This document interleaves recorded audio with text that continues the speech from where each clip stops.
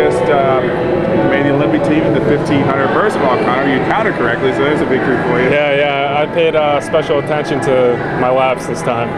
What do you think was uh, what was going through your mind, you know, with you and Andrew, something stroke for stroke the whole race? Yeah, um, I saw in the beginning of the race, Chad was out very fast and someone else on the other side of the pool, and um, I knew I had to stick to my race strategy. And if they were going to go out that fast, then I just had to let them do it.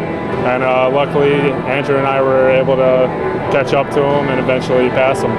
You've been kind of right there in the mix of distance freestyle for a while. What does it mean to you that, you know, pretty much this is like your first major national title and it also puts you on the Olympic team? I think uh, just really good timing for me. That's it. I'm, I'm, happy I was able to do this swim at this meet. Now you've had some good training partners in oh, Michigan, oh, yeah, no John doubt. Ryan, Ryan Feeley. Yeah. You know, how did that kind of help you to this moment? Uh, I could credit, I, I like really need to give them special thanks and credit them to everything for, I think, believing in me, maybe sometimes more than I believed in myself throughout this year and really pushing me in practice every day. And we have a great training uh, environment at Michigan. And um, it's definitely what helped me get to where I am today. Obviously, the bar is pretty high winning that gold medal in London with Sun Yang, the oh, yeah. record holder. What do you think you need to do between now and London to at least get, get closer to her?